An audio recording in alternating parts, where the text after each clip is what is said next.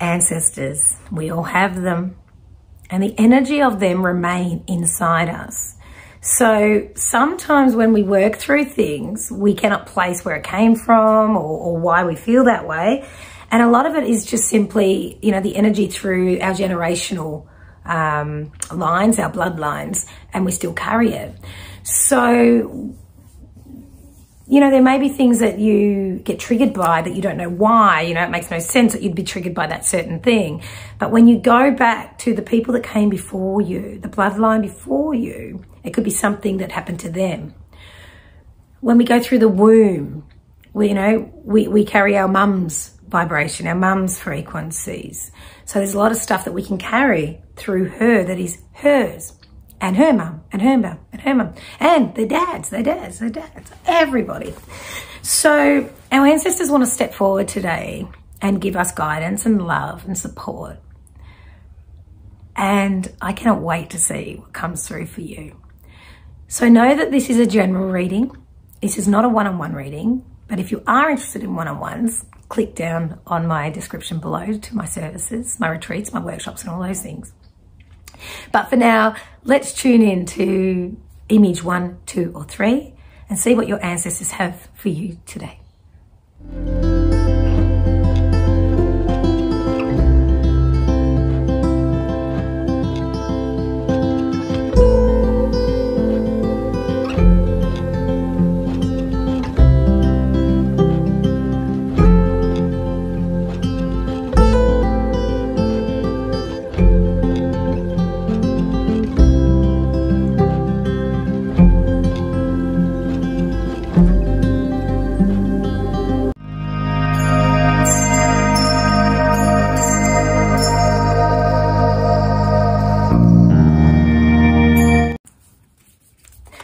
Okay, image number one. Image number one. You know, I sit with the image and I feel into it and I know there's so much wisdom here. Um, and your ancestors are here to remind you that you are the oh wise one, aren't you? You know, uh, it feels as though you've got like the little one-liners, the one-liners that you can just sort of drop the bomb of the one-liner and walk away and, and leave that person sort of in contemplation or thinking about their actions or what they've just said or what they've just done. Um, and, and you get your point across very strategically. A bit of a sniper at times, as in you come in and walk away. Now, you're very much a truth seeker too, they're telling me. They're showing me that you're very much a truth seeker and you won't stand for bullshit. And this is something that you've always known, you've always felt, um, but they're certainly coming through to give you more strength to be able to stand in your power a little bit more because there's things you can see other people cannot. There is truths that are just blatant in your face, but other people are just blindly getting on with their lives. And this is really something you're struggling with the most at the moment. I know that you're hearing, my ear starts ringing. I know that you're hearing a lot and you're ascending. Um, your ancestors are here to say that they're literally carrying you at the moment, that through this transition, this up level, this upgrade. So be mindful of your dreams, definitely your dreams, because they are very much contacting you through, you know, your state when you're in the astral realm. They, they come on in and, you know, because when we're in the dream state, we're more susceptible to receiving. So really take heed take heed, I've never said that before, of your dreams and notice the synchronicities in them and also realize, I don't want you to think too hard about it. You know, sometimes we can dream something that's really like warped and we go, oh God, and, and we really think hard. I don't want you to do that. I almost want you to just observe it and notice it and let it drop in okay? So there's subtle hints through your dreams. There's subtle hints through spirit connection. You will be receiving, receiving that if you aren't already. Let's get some cards for you. Love. Now, when I look at your line, your family line, there has been relationships that have withstood everything against it, basically. I feel like in your in your bloodline, there's been a lot of people that have fought for love. So whether it be, you know, people running away to be with someone that was against the family morals or values or religion or whatever it might be. And there's a little bit of that going on in your energy. And this doesn't necessarily have to be with you, but it's definitely with those that have come before you. Love rules, you see. Love rules. It always does. But in for you here and now, the message is whatever is meant for you will never pass you by. There's no need to chase anymore. And I can feel the urgency and the and the desperation of you wanting, you wanting, you yearning for something more, something better. And I know your ancestors are coming close saying that's okay. That desperation and that needy energy is just the energy of them living inside you. And it's time that you forgive that energy and release it. Because what's next for you is divine. What's next for you is divinely timed. And the patience is something that really needs to come through for you at the moment being patient and knowing that there's some cords that need to be cut. I will pop a link in the description of a beautiful Doreen Virtue cord cutting meditation that I like to share with a lot of people and do myself. Because there's aspects that you're carrying that aren't yours, but you're owning them. Energies, um, thought patterns, almost like you're taking responsibility for things that have happened to those that have come before you, like they're yours. And everything is love with you. You're very strong empath. You're very emotional. You lead by your heart. And it's a beautiful place to be, but sometimes we need to protect ourselves and be a little bit more cautious. So I want you to almost be a bit more cautious with where you throw your love. Something I've never said before in my life. But with you, my darling, it feels as though you love so big that it you can easily get addicted to things that you love to the point where it becomes overbearing for everybody involved. And so you'd be at the point now that you're either in this needy energy or you've just literally switched it off and you're numb. I don't feel like there's a balance here with your heart space. I don't feel like that. But remembering that your ancestors are here to help you break these cycles right here, right now. And by doing some cord cutting, releasing those that have hurt you before, and also stuff you're carrying that's not even yours, that you wouldn't even recognize as yours, but you're carrying it like it is. Your ancestors are thanking you for taking that burden, but also saying it's time to release it time to detach, time to let it go. It's like you do these cord cutting meditations and visualize, see how there's this beautiful dove. It's like you can have this meditation as you cut those cords, see, see it leaving, see it leaving, see it detaching, see it moving on so that you can now become whole. It's very important for you to do this process. And it could simply just be, you know, at night time as you go to sleep, do this meditation. I think it's only 10 minutes.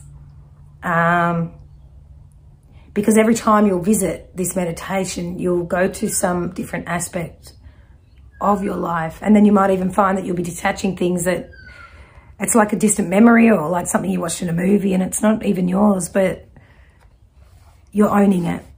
And it's time to let that go because you, my darling, your ancestors are here to say that they truly love you and they're very grateful. And a lot of the times it's up to us light workers to do the work to break those patterns of those that came before us. And what that does is breaks the patterns for those that come after us. So in our healing, they heal. And you've stepped up for this job. You just have, it's just in your soul contract. And you're ready for it now. So when we take away the ego and bring in the love, you'll then realize that you are enough and there's no need to chase anymore and there's no need to shut down. And you've got some work to do to cut those cords, call in your ancestors and say thank you for watching me, holding me and being close. And that, my darling, is your reading for number one. Okay, messages from your ancestors, number two. This is a beautiful uh, stopwatch, right? Time. Stop. When I sit with this energy, I just feel so much gratitude.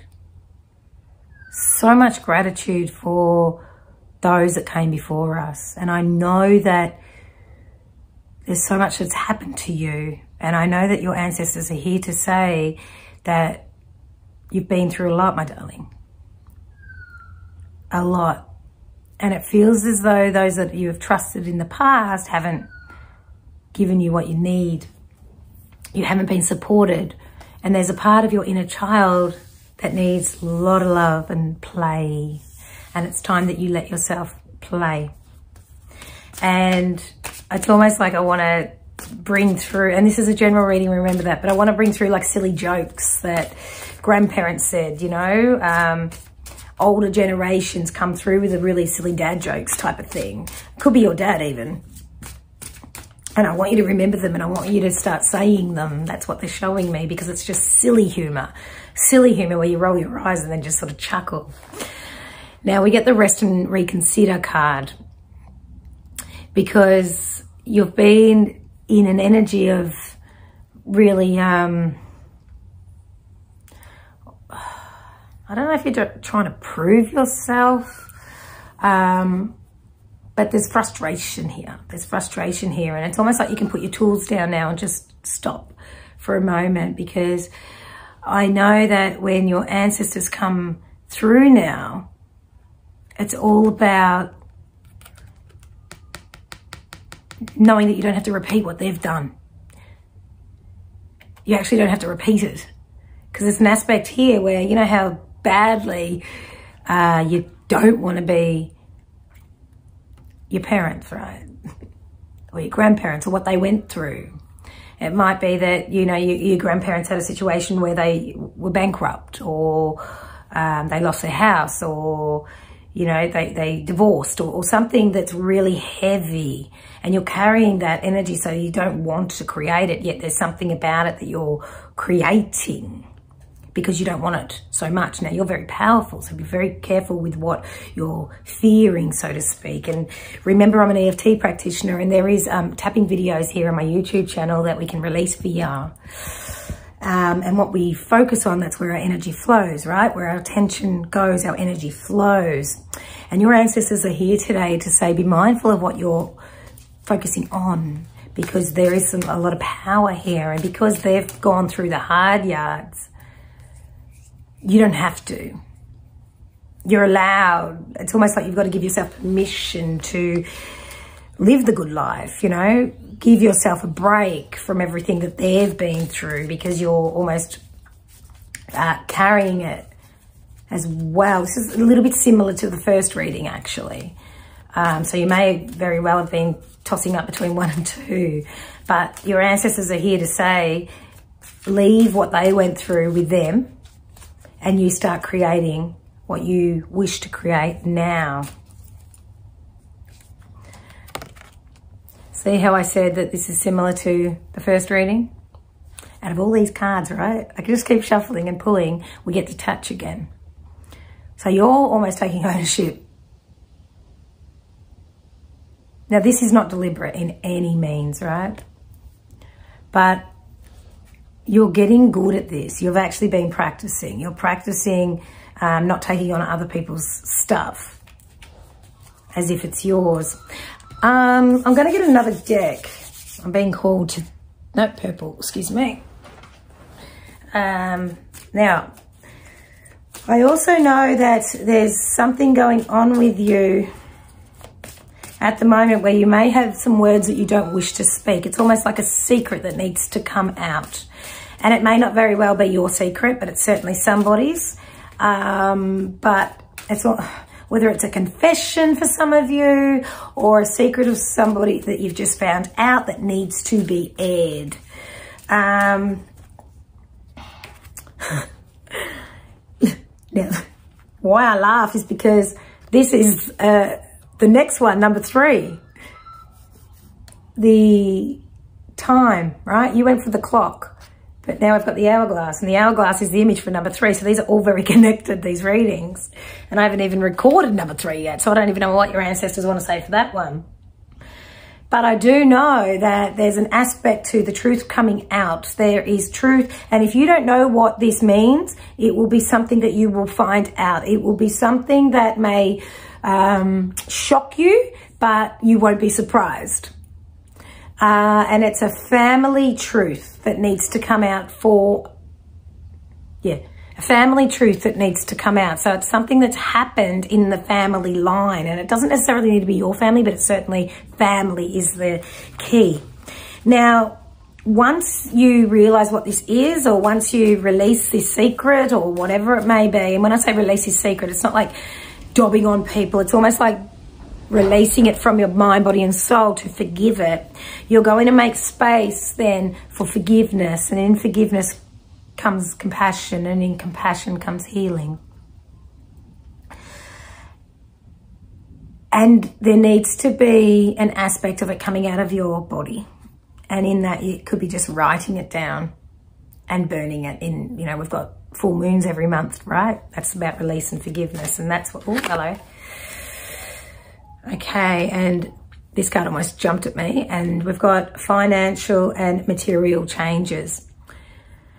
So it may very well be around finances, this secret. It may very well be around objects, you know, um, material, material things. But it also could be that, um, you know, when the secret comes out, it, it, makes sense around the finances or it makes sense whether it be a will or, or, or um, a marriage or deceit, that type of thing. And it, it doesn't have to be a bad secret, but it's certainly something that someone's holding close that is of, value to them for other people not to know about it because there's a little bit of guilt going on around this one.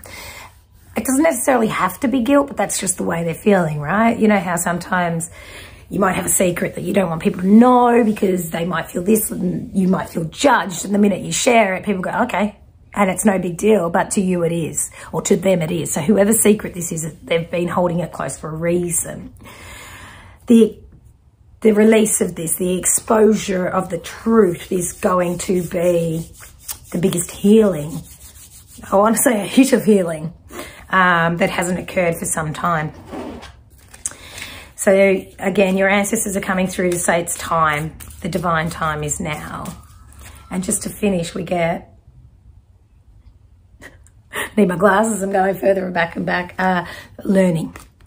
So it's all living and learning, right? Um, I also see the vision here of a small child. So whether or not this is about a child or it's going to affect children or it's from a childhood. Um, but there's definitely that innocence and that inner child time to play type of vibration. And that's what this message is. Your ancestors are here to say time to play, time to release from the shackles of um, the darkness of secrets. And who are we trying to protect? Um, and is it the judging? So it's a bit of time for analysis to try and work out why that is. Now, this reading may very well be a little bit too specific to fit, but take some time with it because there will be parts of this that will resonate with you. But I would be interested to know some feedback and how, how you go with this. But know that your ancestors are here saying that they will be protecting you throughout.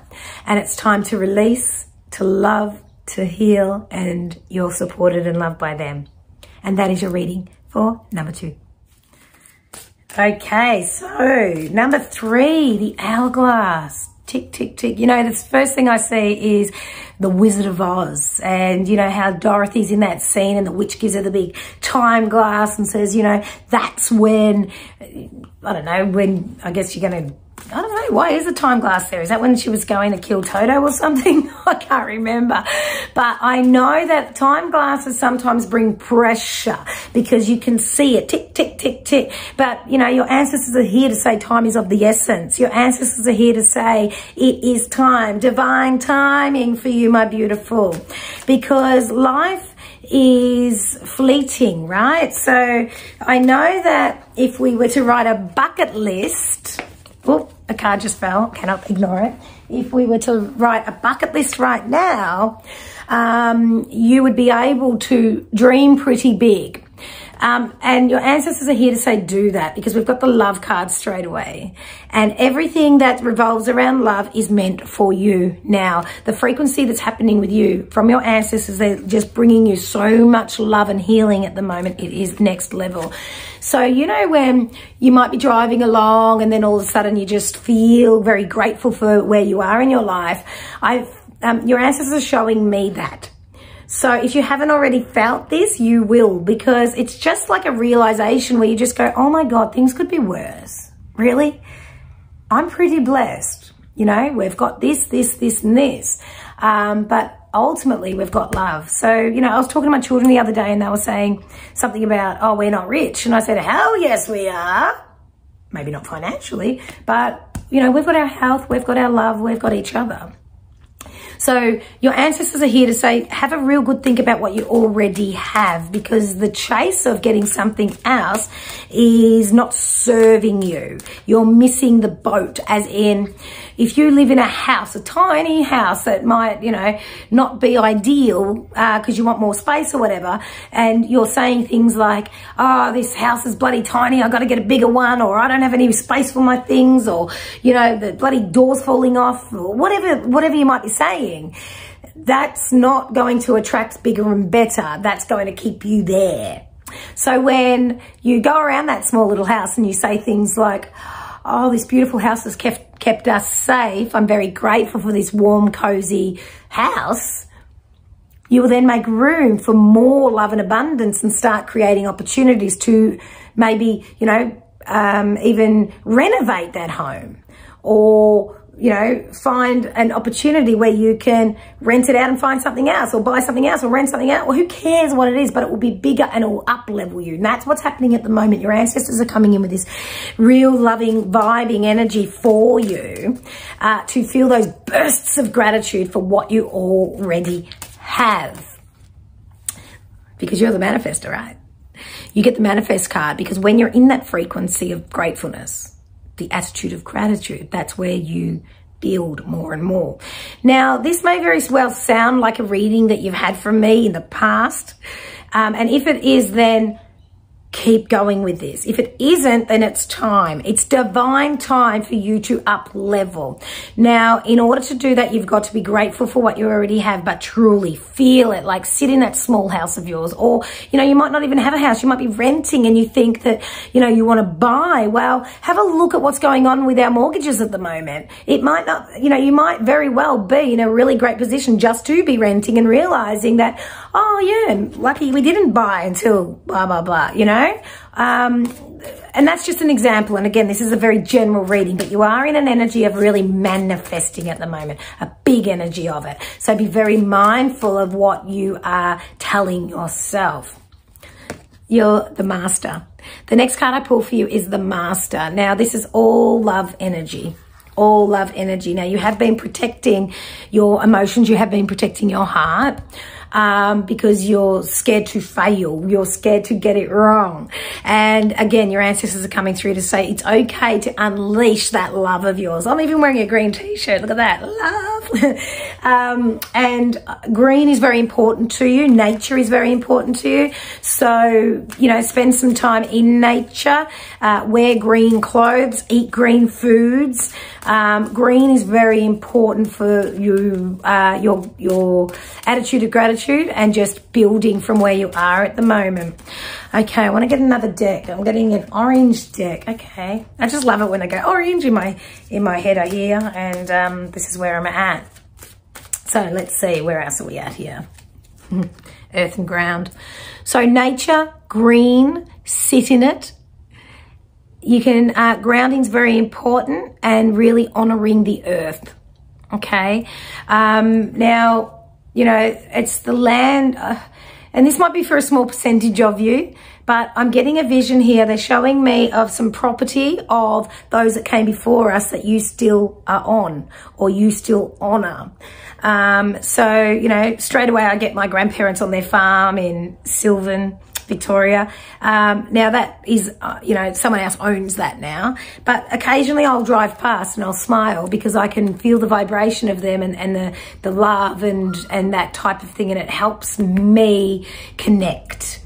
Now, in saying that, and I, I won't sit by their grave, because I don't find that where my happy memories are. And I feel that that's just more of a structural place where they are, but I know they're everywhere. But I take myself to places where I can connect with how blessed I was and grateful I was that I had them.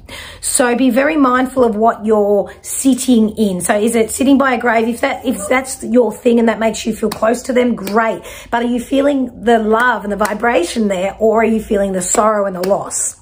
So really connect because they're always around you and your ancestors are coming in today to say, please listen, we are talking and you're not exactly getting the right message. You are hearing them, you are connecting, but keep your mind out of it and feel into them. And enable to do that. It's that energy and that vibration of knowing that they're there and knowing that they're there for your highest good.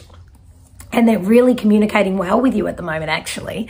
So i'd love to hear. Feel free to comment below and let me know what it is that you're receiving from your ancestors at the moment because they are here and they're saying thank you for um, receiving them. But there is still a little tweaks that you might want to realize that it's your mind and not them I actually teach um, mediumship classes also um, and I also have an online intuition course. So that might give you a few skills because you are opening up to receiving with spirit next level. And the two cards that just fell out are progress and alternative.